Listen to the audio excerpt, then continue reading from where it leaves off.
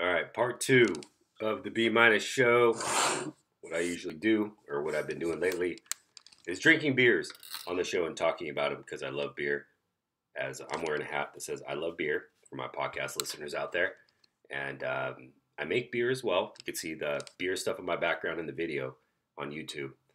Um, some of it, most of it, some dusty golf clubs and whatnot. A couple fraternity paddles and uh, Nick Cage poster, something I won from a White Elephant gift exchange last year. Um, so yeah, part two, Bodega Head IPA from Third Street Aleworks. 7.1% alcohol, independent brewery out of Santa Rosa, California. We know you heard the story about beer and a slow boat to India, so we're not going to bore you with that again. We're going to talk about this classic West Coast IPA named after one of our founders' favorite surf spots, Bodega Head, has a big citrus and pine sea hop aroma and a lingering hot bite. So grab a four pack, head to the beach, and enjoy the waves. Independent brewery, 7.1% alcohol. I gotta admit, doing the video at the same time, I'm still getting used to it as doing the podcast. I am pretty stoked that I could do this on my MacBook now um, instead of doing it on my MacBook and my desktop computer. It was getting kind of complicated. It's getting a little more simple now. It will get more streamlined and a lot easier to do over time. And this is kind of new for me to do video at the same time. But um, find me on YouTube. And that song I just played, that's something I made, a little romance ballad.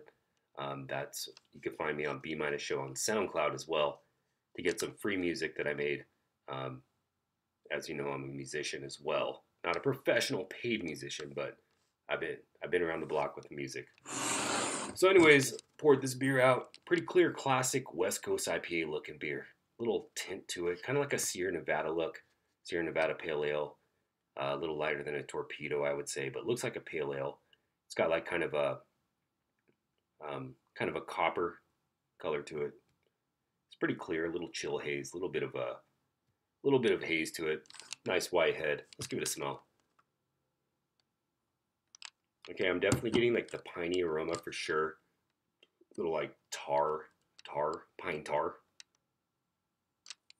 I get um, some citrus as well, and a little bit of that grains popping out as well. So this is obviously a different yeast they used, in my opinion. I'm not smelling too much yeast. Probably fermented off very clean. Uh, probably something along the lines of a SafAle 05 or a, a White Labs 01. Some kind of like California yeast is my guess. anyway, let me let me give it a taste.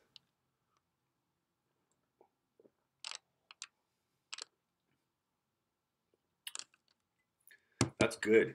It's um definitely has like a little bit of hop bite to it, but it's not overly hopped, in my opinion. Although I do love my hoppy beers. It's got a good malt profile to it. I'm not getting a yeast taste. It's got a good, kind of a hard water profile to it, but it rounds out pretty well, in my opinion. This is what a West Coast IPA should taste like. It's not labeled as a West Coast IPA, but I would definitely categorize it as that. It doesn't have heavy, heavy IBUs. It's probably like 40, 50 IBUs, is my guess.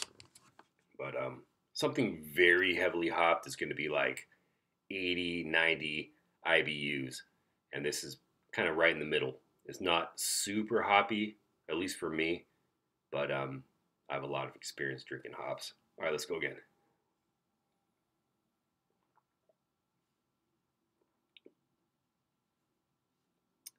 Get a little bit like lemon, a little bit of citrus. Overall, not bad. You know, it's a, if you're looking for a West Coast IPA, Bodega Head. I've been out to Bodega so many times. I'll tell a little story. Um, I got dive certified probably about what ten years ago, something like that, and um, never actually went diving on my own. My family and I used to go to Bodega Bay on crab season opener. So we went out to crab season opener, a 12 foot inflatable dinghy, an Achilles with a 25 or 35 horsepower motor. That thing flew. It probably went about 30, 40 miles an hour, eh, maybe like 25. I don't know. It went pretty fast, but basically I had four crab traps And um, that was another story. What am I talking about? One time I went out to dive. We're talking about diving because this is a surf spot, but Bodega Bay, I have a lot of memories out there. So, um, my buddy Phil and I, and my ex at the time, were into diving, and I never dove before. I'm going to admit, I had a few drinks and decided to go diving at Bodega Bay. Um, where was it? wasn't Dillon's Beach, was it? It was Doran Park. Doran Park. So we dove out there, and there was a great white, uh, great white shark sighting the night before. Right, the day before we were supposed to dive. There's a great white. I guess had like a seal in its mouth, right, in its jaw. And if you know Doran Park, about I think I want to say like a mile out, there's a big like kind of rocky island out there with a bunch of seals on it that just like to hang out. So that's where the great shark, great white shark was hunting.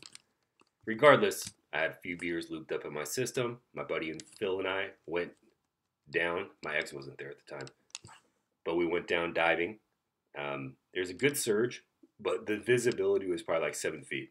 So you couldn't really see much in front of you. My other buddy who drove the boat, Eric, um, he was fishing. He was fishing off, you know, just throwing a line, just waiting for us to finish our dive. So basically, we just went down and couldn't really see much, but there was a lot of surge, and there's a jetty probably about a couple hundred feet away. So a little scary. Um, regardless to say, uh, maybe I had a lot of balls back then. Maybe I don't have many balls anymore.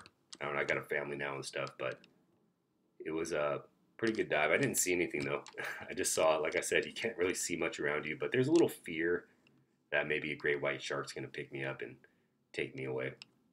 Regardless, we did the dive successfully, got back in the boat, got back to the camping spot, and um, that was my first dive on my own. And I've done probably about 30 dives after that, and um, started a family, kind of had some life changes, and haven't went diving since. But I still have a lot of diving gear, and I'd like to go back out to Bodega. Um, one of the dives I did out there, though, in the Bodega area, I actually, um, right around the corner, Fort Ross, that's what it was. So it was about a 30 minute drive from Bodega. Just kind of loop around the bay.